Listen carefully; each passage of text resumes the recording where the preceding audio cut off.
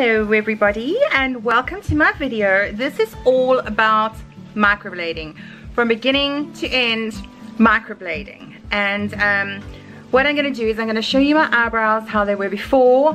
I'm going to show them while they're being done and I'm going to show them through the healing process and how they look after six weeks. I think it's six to eight weeks you have to wait and then um, I'm going to show them again when I get the second procedure done and then again the healing and the final effect. So it's going to take me a few weeks to film this, a few months perhaps, but I will get it done and I will get back to you guys with, um, yeah, my experience. So here goes. Here are my eyebrows. Currently, um, I've just put some powder with a brush on. Um, just kept it simple. Um, yeah, so I'm very nervous. I'm not gonna lie. I'm a bit freaking terrified. Um, yeah, but I know I'm gonna be happy once it's done because I have had it done before.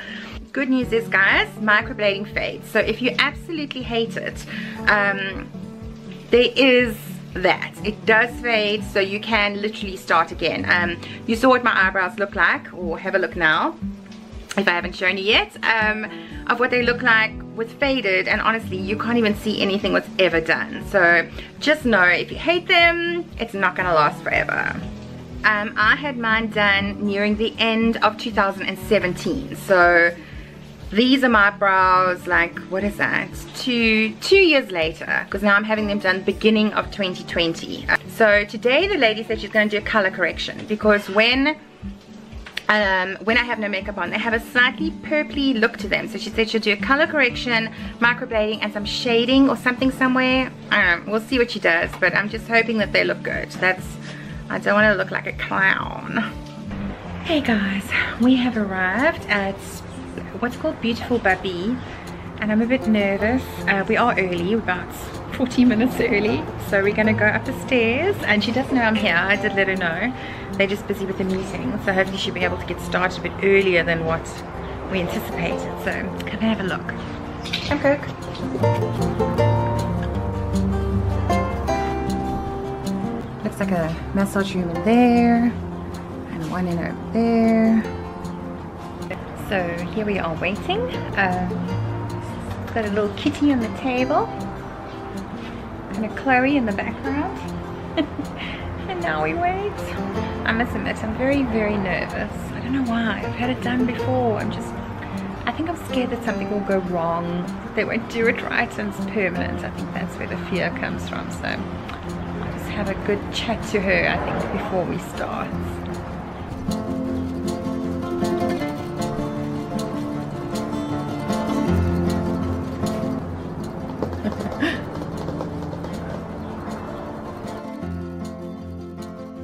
The color, it's not, I don't know if it's even too noticeable now, it's like purpley. Yes. You can see it. Yeah. yeah. The purple, uh, Is I don't wanna- normal, I don't is want it- to say it's normal. It shouldn't happen if the color is matched right to your Yeah. skin. But also sometimes as the tattoo ages and depending on what your skin not a good candidate for microblading. So you said you're going to correct the color. Yes, we're going to do color correction for Full you. something and or other, yeah. And you definitely want the microblading. You don't want to do a powder brow What is a picture of a powder brow? Will you show me what it So looks like? yes, if you picture, actually what you have now looks like a faded powder brow. Powder brow gives you like a makeup-y look. You know when um, it looks as if you have a little bit of powder on your brow. That's Okay. exactly what it says actually. Chloe's laughing at me. She says I look what? Like you have no eyebrows. Like I have no eyebrows. But that is exactly why I am here, is it not? So anyway, so at the moment they have um, the numbing cream on and um, I realize they look very funny. And yeah you can see basically what's left of my eyebrows from the last tattooing. We just had a chat now about whether I want to go look funny whether I want to go for powder brows or microblading but I think microblading is the most natural looking when you're not wearing makeup. So I think that might be my my choice. Um, yeah so we just got to wait half an hour for the numbing cream to work and then we will begin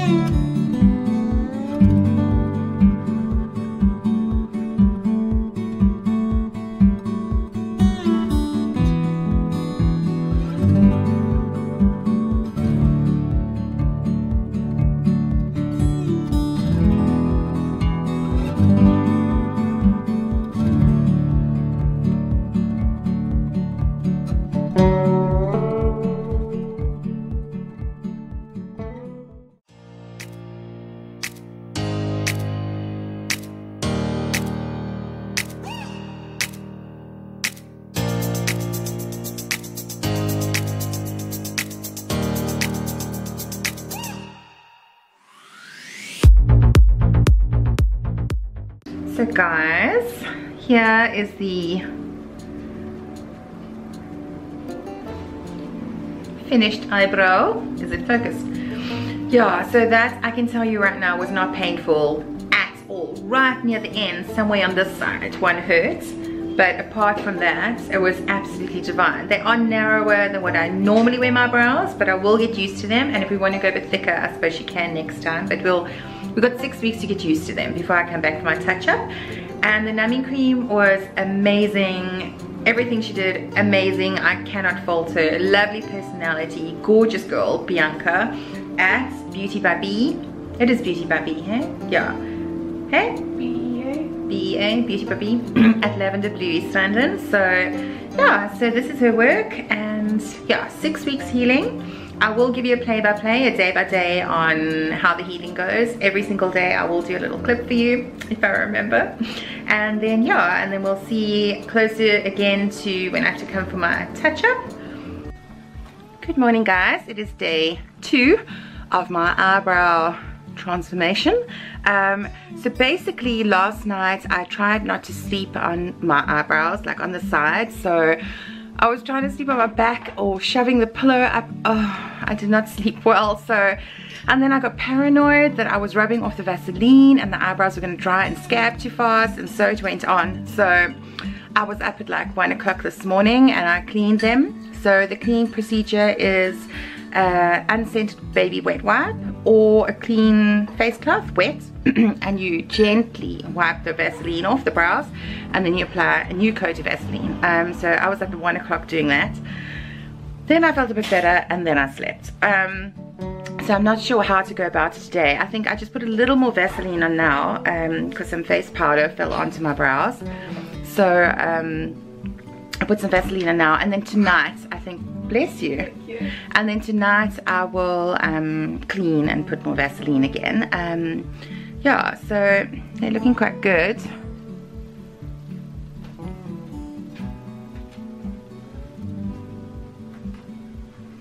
oh, I love how nice and dark they get but once they heal they're not as dark it's just the, this the scabs still have like ink in them so it's nice and dark but I like those. So when I showered this morning, you obviously can't get them wet. So I used a wet wipe, a facial wet wipe to clean my face and then my hair's still clean so I just tied it up and um, I just did like a body wash. So yeah, I'll be doing that for a few days until my hair is so greasy. I don't know what to do with it. And then we'll have to move on to plan B, whatever plan B may be. But yeah, day two. Day three. And this is what we have. I don't know if you can see very nicely there. I hope you can. They're healing nicely, no problems, no, it's not painful at all. Last night I slept much better. I just thought, you know, a little bit of Vaseline comes off, it's no probs, I'll just put it back on in the morning, which I did. So yeah, I slept much better and yeah, not sore at all and it hasn't started to crust off or scrape off or the scabs come off yet. Um, I have that probably to look forward to in the next few days. So day three doing well. Oh, hot, just the way I like it. Mm. Eyebrow update. Looking good, it's day five. And they are looking great and I'm so impressed. She's done such a good job. I don't have any nasty scabbing yet. Good morning guys, I'm coming at you from day five day four was my first day back at work so nothing was going to happen. But day four was it was very tingly and itchy and a little bit sore and I think that's just part of the the healing. Um, today perfect so far and I think the difference between this procedure I had and the last three I had in the past the last three they, my, my, my, my eyebrows got very flaky and scabby and gross and they were patchy and I was embarrassed. Um, this is day five and I'm waiting for it to happen and it hasn't yet. I hope it doesn't. But honestly, I think what the difference is is the, the, the aftercare. Uh, before I was given all these expensive creams and all these procedures and all that type of thing. And this time it was unscented baby wipes and unscented Vaseline. Vaseline, she called it. It was so funny. Um, so... I think just the simplicity of that and the, the Vaseline actually like moisturizes the area whereas the expensive products I were given I think were thicker and they almost like sealed the area. So they weren't moisturizing and I don't know it scabbed terribly and this hasn't happened. She said it was uh, I can't talk it's so early. She said it was a slow heal.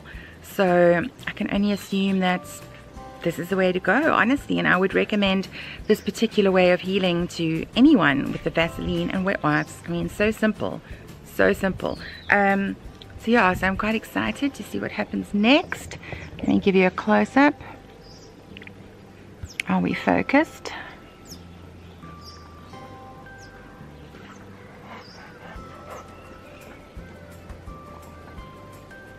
A jogger. He didn't see me standing here. anyway, so yeah, that's day five and that is how we are looking and I will get back to you with more progress day six I'm cleaning them and I wanted to show you guys um, this guys is a tiny piece of um, scab that's come off when I was putting my Vaseline on after cleaning them on day six. Hey guys coming to you from day seven exactly one week ago I had them done and here is where we are at. I hope you can see them clearly. Yeah. So all there has been is literally is a a little bit of um, yesterday, I think it was yesterday morning or evening, I don't recall. I think it was the morning when I wiped them with a wet wipe. There was the tiniest little specks of um, brown on the wet wipe, like maybe five tiny pieces. So that's tiny pieces of scab. My cat's in the tree outside. Um, so that's that's pretty much only scabbing that has happened that has come off. It's been such a beautiful slow scab that's the healing has been fantastic. I am like so totally and utterly impressed. She's done an amazing job. It is two weeks since I've had the microblading done. I just wanted to show you guys. Oh, there goes the mozzie. Hey guys, it's a bit windy. It is six weeks later and I'm back at Lavender Blue and I'm about to go and have my touch-up. I'm probably not going to film too much so I'm not sure what we'll get to see the second time round because my little camera girl isn't here today. She's at home. Um, so yeah, just a basic touch-up. Gonna have a look how it's doing and then um, yeah. I must admit it is far more comforting sitting here today knowing what to expect having been through the treatment before with uh, Bianca and just knowing her her systems and how she does stuff and her, her competence that really really helps. So I'm far more relaxed today.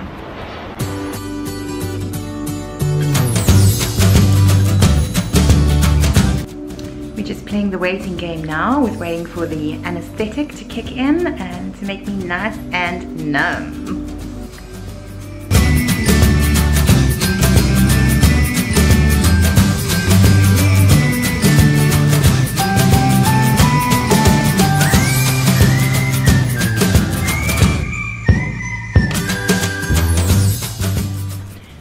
we are done.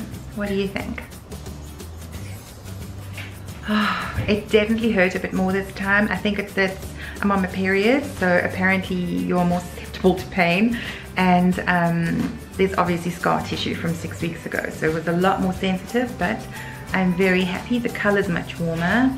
So yeah, so now we go into another six weeks healing process. And she says in six weeks she likes to see me back just to do a little bit of tinting of my six brows that I do have. so yeah, I will monitor how the healing goes. Good morning guys. It is the following morning and I thought I would show you my skin, my eyebrow cleaning routine.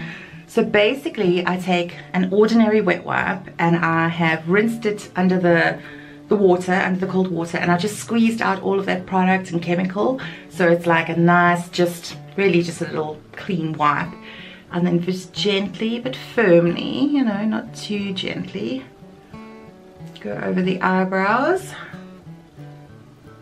You should probably turn it so you don't cross infect if there isn't something starting.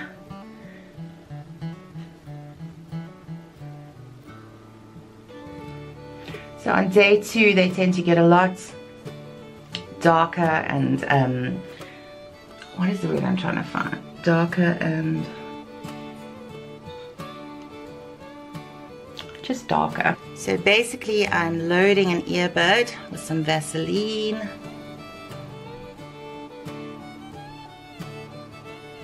There we go. I will also do the other brow, um, but then what I do when I put on my makeup is I will um, work around it. So I will do my eyelid, I'll make sure I brush the makeup up and around and same with powder.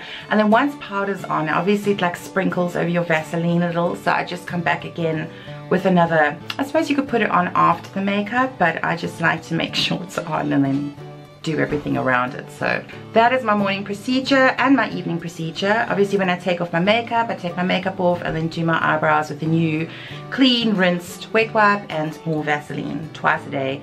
Every day for at least 10 to 14 days to guarantee no scabs, no infection, just a beautiful wet healing process. So, okay, and that is the makeup done. Um, not so bad guys and let me tell you it is worth having shiny brows for 10 days to avoid the scabbing process. The scabbing is disgusting. Sorry, I'm so hot. It's gross. It, it leaves patches on your brows. It makes you feel ugly. It makes you feel like you don't want to go out in public.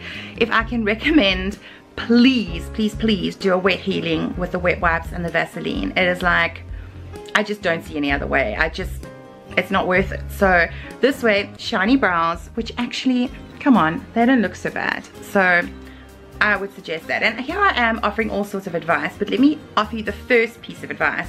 Before you do anything, do your research. Go to a reputable person who knows what she's doing. She's been for proper training, proper products. You need to look into what products she uses. Does she advertise her products? So if she doesn't advertise her products, she's not proud. And that was advice from Bianca. She's not proud of what she uses, so she can't brag about it. So look at that, you know, make sure she's bragging about her product, showing you and being open about what product she uses. And yeah, just someone who's been around the block. Look at her Facebook. Look at her Facebook. She must have a Facebook. She has to. If nothing else, she must have a Facebook or an Instagram or something. And just have a look at her work. Before and after is very, very important. I mean, how would you know what you're getting if you don't look at someone's before and after? So, so yeah, so very, very important is research properly who is going to be implanting semi-permanent dye into your face. Like, that's a biggie. Oh, Another little word of advice is to shower. Now obviously you've just had your brows done and you're not supposed to get them wet. They say you can get them wet but don't soak them. So no swimming or sauna or anything where sweat sits on them. So no exercise, no running, no, what's it called? Um, park runs. No park runs or park walks. Nothing with sweating. Um, so no sweating. So perhaps avoid the husband for a few days, guys. Um, yeah, so so how I do it is before I get in the shower, bearing in mind that I want the heating process to be as perfect and as smooth and uncomplicated as possible, I do exactly what is, what is instructed. So also your practitioner should is that the right word? She should also send you your, your pre, so when you book your appointment, you should immediately get information as to what to avoid a week before, a day before, an hour before, a month before, whatever it is. You should get that well in advance. Once you know what's happening, abide by it. Like, do what they say. And um, so I don't want to wet my brows. I don't want to risk anything. So what I do is I slather the Vaseline on. Get in, do my shower, do whatever you have to do as quick as possible get out and then I do my face and then I'll wet wipe my brows and put on a human decent amount of Vaseline. But that's just to avoid them getting wet because Vaseline doesn't wet them but it keeps them moist in a good way. Moist in a good way. Um, so yeah. So I'm gonna leave it there and then I'll check back in with you soon. Hey guys. It has been three months since I've had my final touch up on my brows. I'm very happy. Um, Bianca did explain to me that because I have oily skin, um, the, the individual lines may not be as prominent as somebody with a drier skin. Um, and that it may end up looking more like I had a powder brow done, which is literally using the tattoo machine with little feather-like strokes, and it leaves it looking like, literally like you've put powder on it. So that is what I've ended up with. Am I happy I did microblading? 100%. Am I happy with the results? 100%. I'm so happy to wake up in the morning and have eyebrows. For a long time, I would not leave the house, like years, without having my eyebrow makeup on. And what a relief it is to be able to just wake up, shower and go if I need to. It has been amazing and thank you to everyone who, well, Bianca, thank you Bianca. And um, guys, I, I really thoroughly enjoyed doing this video and I hope it's been informative for you and I hope it helps you decide whether or not you want to do microblading. And if you do, I hope there's some helpful advice that you guys can use. If you enjoyed this video, please give it a like down below and a happy comment. And I will see you on the next one, whatever that may be. Bye guys. Mwah.